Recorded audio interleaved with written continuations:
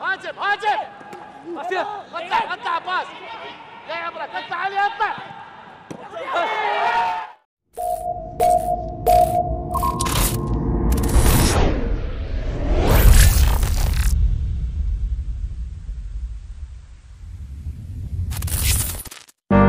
It's just another doorway to open up and see. Asosiasi Sepak Bola Thailand menunjuk satu nama untuk menjadi pelatih sementara timnas Thailand.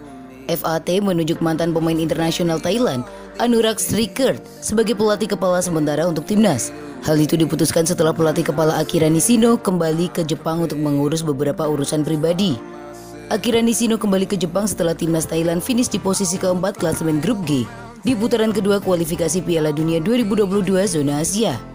Thailand pun gagal untuk melaju ke putaran ketiga tahap akhir kualifikasi Piala Dunia 2022 zona Asia.